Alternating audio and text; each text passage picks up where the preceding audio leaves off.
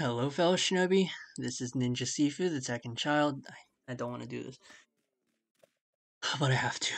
This is um advanced brawling. I'm back at outdoor boxing, and um I have the new style. I don't know if I'm gonna get the monkey style later on. Probably not. Uh, but if I do, there you go. Um, stay tuned, I guess. But right now, I have to I have to review this. I have to review this. This this costs two thousand fame. Okay, I'm I'm just I'm just gonna hurry up. That's the M1. That's the M2. Um, I'm just gonna buy a dummy. I don't care anymore. Uh, it's all I can really say is that if it has a skill, then it's probably gonna be the best style in the game. Uh, unless I see the damage.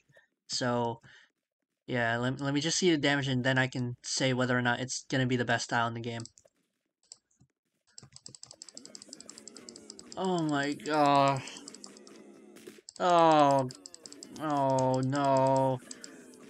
Oh gosh. Uh. Okay, so the damage is actually really subpar. It's not that good damage. Uh, but it has a double hit for a um an M2 so yeah, that's that's that's it. I that, that fine. There you go. Uh, if you somehow enjoyed this, you can go ahead and leave a like and subscribe. At least that'll help me out. Um, and share the video if you uh if you want people to get the style. I don't know.